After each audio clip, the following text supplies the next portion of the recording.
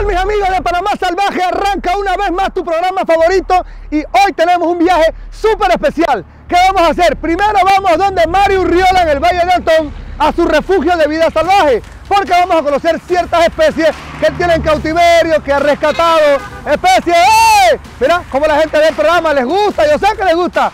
¿Cómo, cómo es el trato, cómo es el cuidado, cómo los alimenta y después nos vamos con nuestros amigos de El Odado Panamá a Cascada La Gloria. Un programa especial para ti, totalmente salvaje. Lucho Pérez, esto es Panamá Salvaje. Nos fuimos.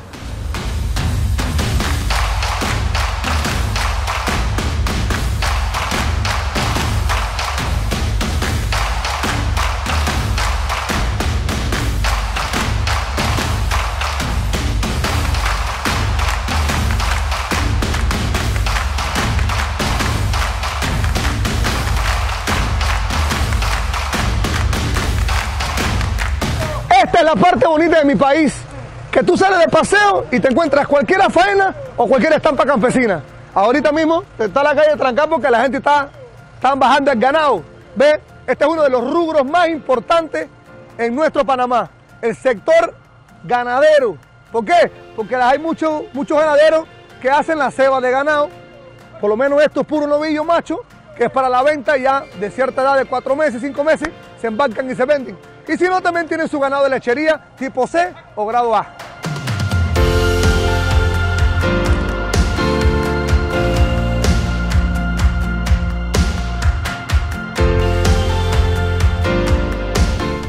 Amigos, ayer nos encontramos con la gente de Enlodados Panamá. Mariel y Rey, bienvenidos a la cámara de Panamá Salvaje, muchachos.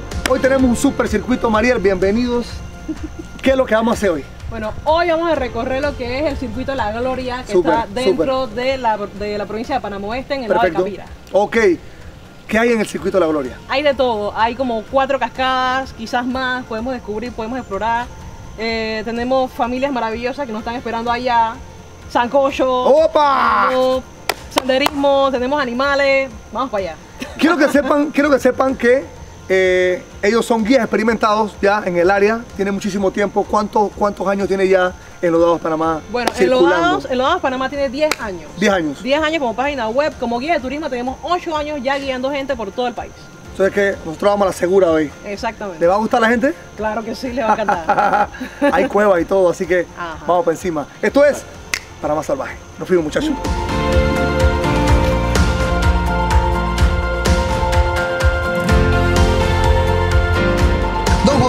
Bienvenido a las cámaras de Panamá Salvaje. ¿Cómo está? ¿Cómo se siente? Bueno, me siento contento porque realmente primera vez que he sido entrevistado ante unas cámaras y realmente pues soy soraño 100% y conozco todo el área de lo que es los regimientos de corregimiento de Sorá y, pues realmente agradecido de que ustedes hayan venido por acá a llevarse algo de lo que realmente es el paisaje de nuestra comunidad y aledaño.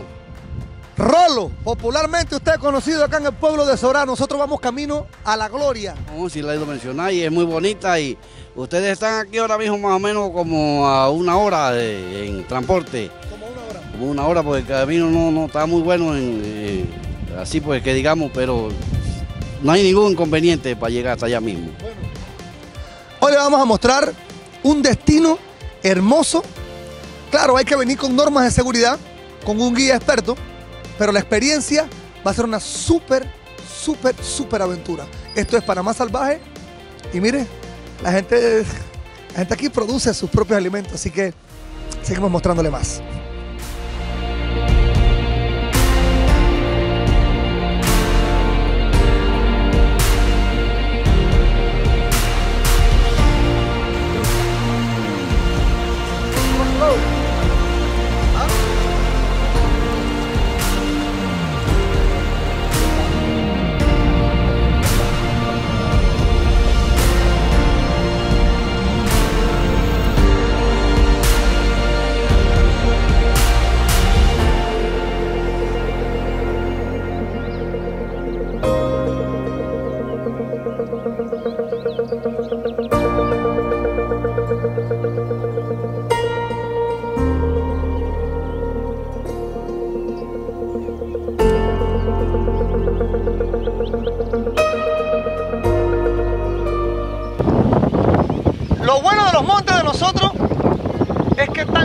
De cosas comestibles, como fruta, mire.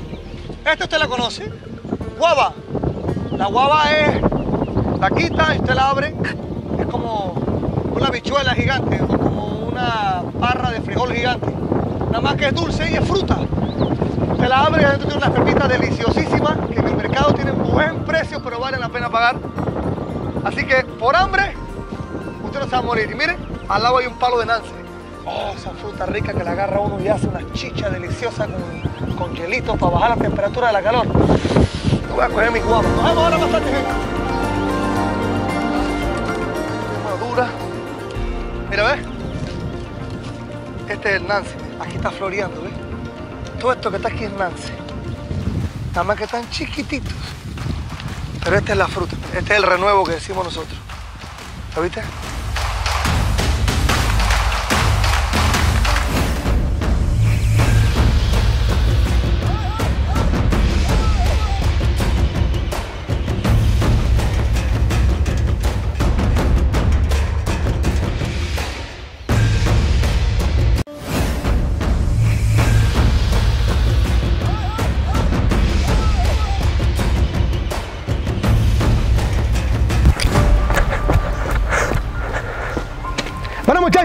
Muchachos, lo prometido es deuda, ya llegamos al centro de rescate de mi compa Mario Riola, acá en el Valle de Antón. Aquí está mi compa Hey, ¿qué esperando, aquí está mi compa esperando. ¿Cómo vas? Pues Mario, ¿cómo anda la cosa? Bien, bien, por ahora tranquilón. Hermanazo, ¿qué es lo que vamos a hacer hoy para mostrarle a toda la gente de Panamá Salvaje? Bueno, te voy a mostrar un poquito lo que es el trabajo que hacemos nosotros acá, en lo que es la parte de rescate de vida silvestre eh, que tenemos en el Valle de Antón. El centro es conocido como el Centro de Educación, Conservación e Investigación de Biodiversidad. Como ese nombre es muy largo, Sí, usted, complicado, entonces Centro de Rescate de Fauna Silvestre. Listo. Para contar. bueno, vamos a entrar entonces adentro del centro de rescate, vamos a ver cuáles son las especies que Mario tiene allá para explicarle un poquito, pues también para que conozca parte de lo que es la fauna de nuestro hermoso país y especialmente la que se encuentra más acá en el valle, ¿no? Exacto. Vamos, gente, pues. Síganos. Mario, ¿qué es lo que vamos a empezar entonces a ver? Bueno, mira, te voy a mostrar desde el área de los caimanes, que es la parte de rescate de caimanes y tortugas. De ahí nos pasamos por cada uno de los recintos Ajá. y te muestro qué es lo que hacemos aquí en el lugar con los animales. Que no es solamente serpientes, Ok. ¿sí? La gente conoce el lugar como, por ejemplo, como el serpentario. Y así es como hemos vendido la idea toda la vida de Que hay serpentario. mucha biodiversidad, ¿no? Exacto, pero trabajamos con todo lo que es fauna silvestre. Entonces hay animales que se rescatan, por ejemplo, se traen acá un rato, si no es necesario mantenerlos en el lugar, no se tienen aquí. Simplemente los reubicamos, como por ejemplo perezosos y otros animales. Y en el caso, por ejemplo, de esto que son las eh, caimanes y tortugas, pásate para acá para que veas. Ok. Mira lo que está ahí. ¡Ay, Jesús! Y mira esa imagen. O sea, esa imagen es buena porque la gente normalmente te, habla, te habla, por ejemplo, de que hay animales como estos que los cocodrilos se comen a las tortugas. Estamos viendo los lagartos. No, no es lagarto. ¿Cómo se dice entonces? Son del grupo de los cocodrilos, Oído. pero estos son los conocidos caimanes o babillos. ¿Babillos o caimanes? Ajá. ¿Por qué no es un lagarto? ¿Por qué no es un lagarto? Explícale a la gente. evolutivamente son diferentes, comenzando por ahí. Ok. Y si lo vamos a ver, características en un lagarto, por ejemplo, sería un animal como las iguanas o como por ejemplo eh, los borrigueros, que son animales que tienen una lengua larga, que es bífida, que la utilizan por ejemplo para poder detectar sabores y olores en el ambiente. Los cocodrilos no tienen lengua. Entonces partiendo por ahí ya tienen una diferencia. Tenemos un tipo de cultura que nos ha enseñado un vocabulario incorrecto, ¿no? Exacto. Pero bueno, para eso estamos nosotros, para instruirlos. Bueno, aquí también tenemos una especie de tortuga. Sí. ¿Cómo se llama esa tortuga, Mario? Esta que tenemos aquí es la famosa tortuga de oreja roja o lo que algunas personas lo conocen como, eh, ¿cómo es que se llama esto? Le dicen Jicotea. Jicotea, es el nombre que le tienen en común. Y cotea, esto no es galápago, porque acá el galápago es más chocolate, ¿no? No, ok, esa es otra aclaración. Ok. Los Galápagos son especie de las Islas Galápagos. La isla Galápagos. Sí, y nosotros estamos bien lejos de las Galápagos. Entonces esto es icotea, acá. Esto es una icotea, icotea o una tortuga de tierra o tortuga de agua dulce. Es lo que tenemos acá. El famoso Galápago, que ahora te voy a enseñar uno, que creo que por aquí tengo uno, o sea, allá, al fondo. Ajá. Date para allá. Date para allá. ¡Ay, hay uno! Míralo, ¿ves? Date para allá. Acá hay uno, acá hay uno, acá hay uno, acá hay uno, acá hay uno, acá hay uno. Vamos a agarrarlo. Eso. es- este es el famoso galápago. El famoso Galápago. Que en realidad no es un Galápago, esta es una tortuga cajón o tortuga caja o se le puede llamar galampijo, que es el término de campesino. Vamos a llevarlo para que la gente lo vea. para que la gente lo vea más cerca. Miren el, el color, la coloración de su cabeza, e incluso también la misma forma del caparazón es diferente. Mira la diferencia. Mira, es totalmente distinto. Aquí lo puedes poner uno al lado del otro. Los dos son tortugas, los dos son tortugas.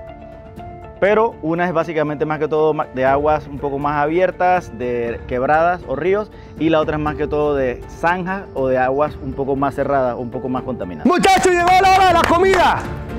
¿Cuál es la comida especial de ellos? ¿Qué hago yo con esto? Vos se la acercas, no, no se la acerques mucho, más vos se la acerques y se la tiras ahí. ¿Ahí? Ahí, no, en- enfrente del hocico. Ok. ¿Se le fue abajo? No, no te preocupes, lo agarras. ¡Wow! Mira eso, mira eso, mira eso, mira eso, mira eso. Bueno, esto nos va a servir para explicar un par de cosas. Estos son animales que normalmente ellos son principalmente carroñeros o comen eh, animales, por ejemplo, muertos. O sea, los, los caimanes, si te fijas, yo le acabo de tirar el pollo enfrente. Cuando ellos no tienen hambre, Ajá. el animal lo ataca. Cuando tienen hambre, entonces viene así como ese que viene ahí. Si yo le tiro el pollo acá, ellos vienen inmediatamente a comer. ¿Ves? Ok, Lucho, mira, para darle mantenimiento a este lugar, para poder tener los animales así, en buen estado, bonitos, que la gente los pueda ver y apreciar, entonces las personas pueden visitarnos, pueden venir acá al centro de rescate, cancelan en la entrada un aporte, que es lo que utilizamos para comprarle el pollo, el pescado y todo lo de la carne que se le da a estos animales, al igual de las frutas, las verduras, el alimento concentrado que se le da a los animales. Entonces, para eso es importante, por ejemplo, en la parte de manejo de vida silvestre y específicamente en el centro de rescate, mantener estos animales. Ok, y por decir algo, Mario, yo una idea así loca que me, que me viene. Si ellos son carroñeros, de repente tú vas a un súper y hay un pollo que se pasó, que está pasado Ajá. de tiempo, ellos pueden hacer su donación. Sí, sí, De repente coge tus 30, 20, 40, 50 libras de pollo que se haya pasado ya de tiempo, que ya no se puede vender, o sea, que ya no se puede usar para la comercialización. Entonces, tú lo que vas es que tú lo agarras, donas, llamas a Mario, Mario, tengo 50 libras de pollo, mira, venga a Ok. buscarla. Eh, Martín, este aquí está más mixto. Aquí Sí. hay iguana, tienes una boa con Trixtor. Lo que pasa es que esta área de aquí es un área de recuperación. Ok, ¿sí? Entonces tenemos, por ejemplo, la boa constrictor esta que está acá, que es una de las que rescatamos, que tenía, bueno, ahí pusimos todo el cuento que le habían metido un machetazo. Ah, le un Ahí machetazo. inclusive se le ve la parte de la, de la costura que está terminando de sanar. Hay unas iguanas acá que están comiendo, le acabamos de poner comida, son animales que están acostumbrados, por ejemplo, a, estar- a que uno esté cerca de ellas. Abajo está, por ejemplo, el cocodrilo aguja. Que ¿Dónde está? Allá atrás Ah, de ti, lejos, está lejos, le pusimos comida. La tortuga mordedora, que es una de las que pocas veces la gente sabe que ese animal existe acá en Panamá. ¿esa no es la caimán? Tortuga caimán, tortuga mordedora o lo que en inglés le llaman el snapping turtle. Snapping Turtle. Bueno, Martín, acabamos de ver entonces, es un águila eso. Gavilán blanco. Y la gente le dice águila en Panamá, entonces. Porque la ¿qué gente pasa? cree que todo como es grande se parece al águila, entonces por eso el águila. Ese es un gavilán blanco, uno de Ya los más grandes. Gavilán. Nosotros acá en Panamá le decimos águila, porque tiene yo de menos que tiene la forma del águila pilla, que se parece, la contextura. Lo que pasa es que hay Es diferencia entre un águila, un gavilán, un halcón, un cernícalo, inclusive eso podemos hablar un poquito más de eso. Especialmente, Mario, ¿de qué se alimenta? Este es comedor de ratones, o sea, roedores, de serpientes y de lagartijas. ¿Y el nombre de ese? Gavilán blanco. Gavilán blanco, Sí, nada más. Así es como lo conoce todo el mundo. Algunas personas le dicen gavilán pollero, bueno, pero gavilán pollero lo usan para muchas especies. Bueno, mi gente, hasta aquí nosotros nos despedimos entonces de mi compadre Mario. Muchísimas gracias, yo imagino que muchísimas personas aprendieron cosas nuevas, eh, ya que tienen animales en cautiverio, nombres, cómo se tratan, cuál es su hábitat. Así que nosotros dejamos entonces a Marito y salimos para Cascada La Gloria, que ya nos están esperando nuestros amigos de Eno 2 Panamá. Hey, Martín, estamos hablando. Vamos muchachos, vamos muchachos, vamos muchachos. Bueno,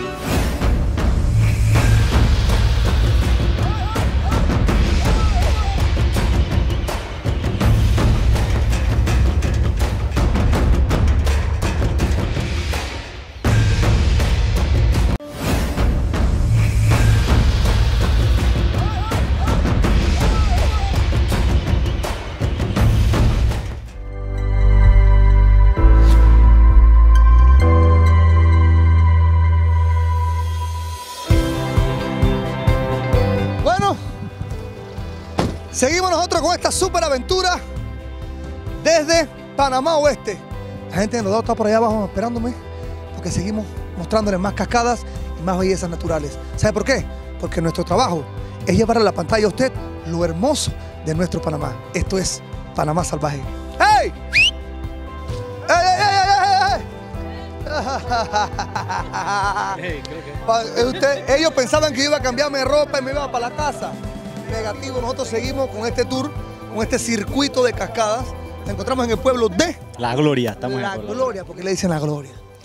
Bueno, La Gloria es básicamente por, por la cascada, ¿no? La cascada La Gloria. Lo alto que está y lo lejos que estaba anteriormente era muy difícil llegar acá. Era como ir a La Gloria. pues. Exactamente. Ay, María Santa, es que a La Gloria no llega todo el mundo. Hay que ser bueno para que sepan. Mi gente, arrancando entonces la travesía nuevamente a la cascada La Gloria.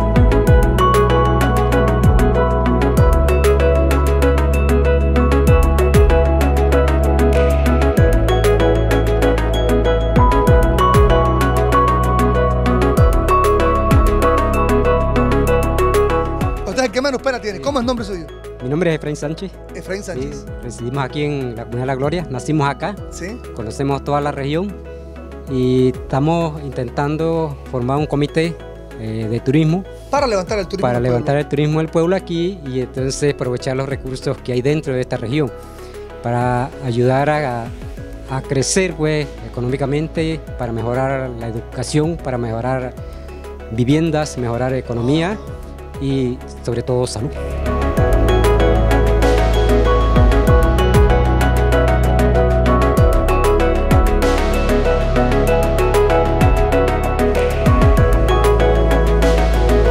¡Ay! Buenas. Buenas. Aníbal. Yo mismo, Luis Pérez para servirle. Aníbal Valle. ¿Cómo estamos, señor Aníbal? Bien, bien, bien, ¿y usted? Bien. No estamos locos. Bien, sí. Tranquilo. Bueno, Bien. estoy venido a visitarlo porque dice que usted, usted es el que controla o el custodio de la cascada de la Gloria. Sí, yo el que manejo aquí la, la, la entrada. ¿Verdad? Sí, ¿Cómo, ¿Cómo se ha sentido usted? ¿Cómo ha sido el cambio en cuanto a la ayuda del turismo? ¿Le ha aportado algo a usted? sí, hay un cambio bastante porque para el sustento de nosotros, los hijos y cada día vamos avanzando un poquito más. Don Sí. Aníbal, bienvenido a las cámaras de Panamá Salvaje. Bueno, nosotros, usted sabe, estamos contribuyendo también con el turismo panameño, con los lugares eh, que están explotando ahorita mismo a, a nivel turístico. Y también pues estamos incentivando a las personas a su cuidado y a su mantenimiento. Sí, bueno, bienvenido aquí a la Cascada de la Gloria. Vengan chicos, nos vemos.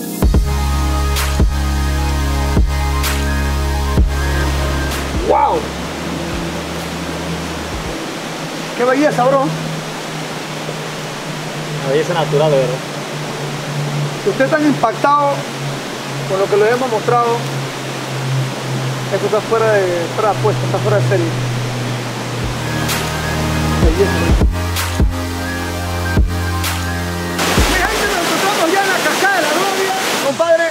Una cascada hermosa, majestuosa. Usted tiene que, que venir a conocerla. Ya usted se dio cuenta de que hay muchísimas personas que viven y están empezando a lucrar del turismo. Quizás no es mucho el dinero, pero le funciona para mejorar su estatus social. Compadre, háblame de esta cascada. Eh, exactamente como mencionas, es muy importante que se dé a conocer el sitio porque las familias se benefician no solamente de, de- de- de lo que es el turismo en sí, sino que también logran vender los productos, las naranjas, Los culantro. culantros. Exactamente. Ajíes. Exacto. Aparte de que esta, esta es cuenca del canal de Panamá y es muy importante eh, lograr mantenerlo así como está limpio, porque el canal depende de todo esto, ¿no? De, Claro, del de- bosque, la de sus afluentes. Exactamente. De sus afluentes. ¿Cuántos metros tiene esta cascada? Aproximadamente 87 metros. Es la más alta del, de Panamá Oeste. Seguimos aquí trabajando duro para llevarle a usted lo hermoso de su país. Esto es Panamá Salvaje.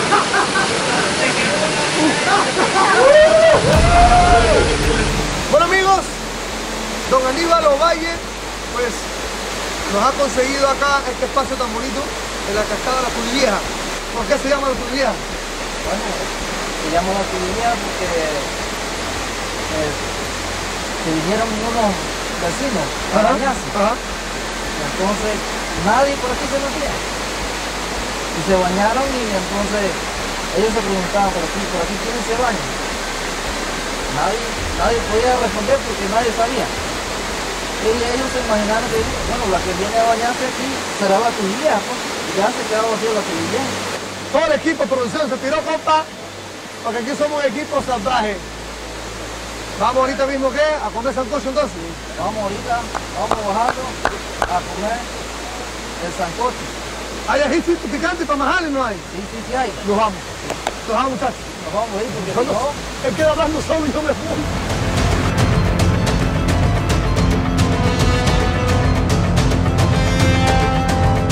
El día que ustedes vengan acá a conocer la cascada, van a conocer a esta señora. Tiene las manos más bendecidas del planeta. Dios mío, no me había comido un sancocho así todavía. Amigos, al terminar el programa, muchísimas gracias por estar sintonizándonos. Un viaje más. Estuvimos en la provincia de Panamá Oeste, especialmente en La Gloria. Disfrutamos de un buen sancocho. Fue un viaje muy instructivo. Conocimos otro lugar que usted también puede venir a visitar y hacer turismo interno. Gente buena es lo que hay en Panamá. Y Panamá también tiene su parte salvaje. Esto es Panamá Salvaje.